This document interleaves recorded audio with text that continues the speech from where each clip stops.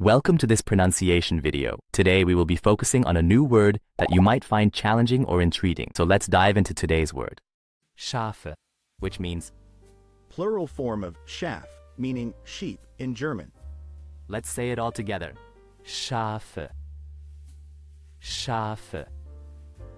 Schafe. One more time. Schafe. Schafe. Schafe. Thank you for joining us on this adventure in pronunciation. Remember, language is a journey, not a destination. Keep exploring, experimenting, and expanding your linguistic horizons. We'll see you next time.